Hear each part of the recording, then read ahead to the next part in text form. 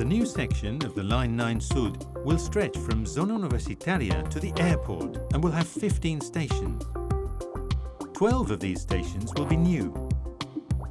Can Tries Gornal, Europa Fira, Parc Logistic, Mercabarna, Las Moreras, El Prat, Centric, Parc Nou, Mas Blau, Aeroport T2 and Aeroport T1.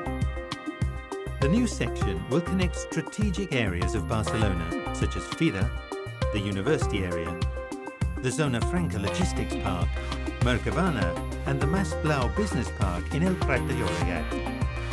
The new line will also connect the urban districts of Barcelona, L'Hospitalet de Llobregat and El Prat de Llobregat, serving new neighbourhoods such as Can Tries Gornal and Europa Fira in L'Hospitalet de Llobregat, and five stations in the El Prat de Llobregat area. The new connection with the Renfe Rodalies service at El Prat being particularly important. The Line 9 takes the metro network out to the edge of the Delta de Llobregat Natural Park, ending at Airport Terminals 1 and 2.